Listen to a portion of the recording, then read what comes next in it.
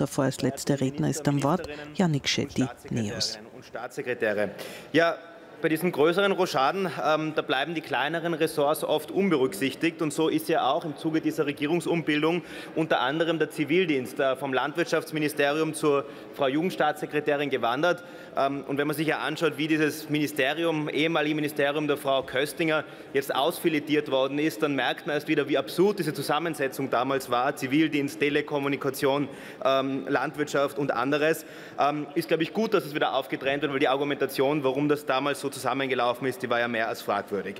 Und das hat sich dann auch wieder gespiegelt in der Ernsthaftigkeit, mit der sich die Frau Köstinger auseinandergesetzt hat mit den einzelnen Themen, zum Beispiel mit dem Zivildienst. So hat es mehr als zwei Jahre gebraucht, bis die Zivildienstsprecher einen Antrittsbesuch ähm, gemeinsam bei der Frau Ministerin bekommen haben. Und auch sozusagen während der Corona-Krise hat man gemerkt, wie ernst Zivildiener und Zivildienerinnen, Zivildienerinnen gibt es nicht, Zivildiener genommen wurden ähm, von der Frau Köstinger. Äh, weil sie gerade bei diesen Anliegen, ähm, die die Zivildiener so massiv beschäftigt haben, denen eigentlich fast durchwegs mit Ignoranz begegnet ist. Also Frau Staatssekretärin, es kann nur besser werden in Zukunft und die Erwartungshaltung ähm, ist dementsprechend jetzt nicht wahnsinnig hoch. Die Latte liegt hier relativ tief, wenn man sich die letzten zwei Jahre anschaut.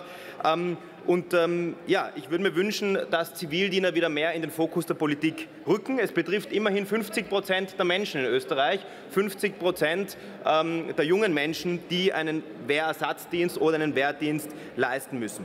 Ähm, Sie werden dazu zwangsverpflichtet. Sie wissen, was da unsere Haltung dazu ist. Wir sind ganz grundsätzlich gegen diesen Zwangsdienst. Aber es gab 2013 eine Volksbefragung dazu und es steht jetzt nicht zur Debatte, ob man dafür oder dagegen ist. Aber wenn man jungen Menschen schon so tiefgehend in ihre Grund- und Freiheitsrechte eingreift, dann haben wir die Verantwortung, dass die Rahmenbedingungen entsprechend menschenwürdig ähm, gestaltet werden.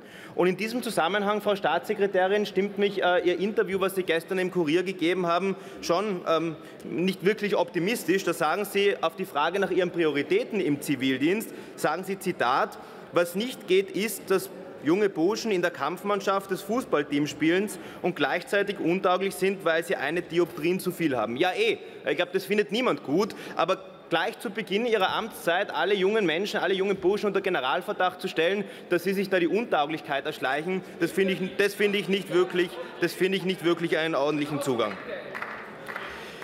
Ähm, Stattdessen sollten wir über die Verbesserungen im Zivildienst sprechen. Ähm, die Vorschläge von uns liegen da schon lange auf dem Tisch. Da geht es einerseits um eine Angleichung des Zivildienstes an die Wehrpflicht. Warum sind es einmal sechs Monate, warum sind es da neun Monate? Es geht um Kleinigkeiten, die aber zu großen Nachteilen für die Betroffenen führen, zum Beispiel um die Abschaffung von absurden Krankenstandsregelungen. Da ist es zum Beispiel so, wenn man mehr als 24 Tage krank ist, wird der Zivildienst ähm, zwangsweise unterbrochen, hat während der Corona-Krise dazu, Corona dazu geführt, dass viele, die in Quarantäne gehen haben müssen, dass deren Zivildienst dann unterbrochen wurde. Auch da hat man keine Regelungen von Seiten der Ministerin Köstinger gefunden. Es geht um eine rechtliche Gleichstellung in der Bundesverfassung. Warum sprechen wir immer noch von einem Wehrersatzdienst? Warum kann man das nur machen, wenn man aus Gewissensgründen keine ähm, keine Wehrpflicht leisten möchte. Und wir müssen natürlich auch über die Grundvergütung reden in Zeiten der Teuerung. 346 Euro zuzüglich äh, Verpflegung. Frau Staatssekretärin, ich weiß nicht, ob Sie einen Monat lang mit diesem Geld auskommen würden. Ähm, ich glaube, vielen hier würde es schwerfallen. Zivildiener müssen mit so wenig Geld auskommen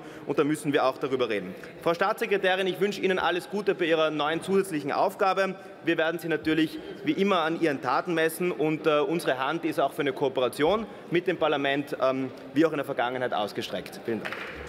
Die Rahmenbedingungen im Zivildienst seien verbesserungswürdig, sagt Janik Schetti von den NEOS. Er ist Zivildienstsprecher seiner Partei.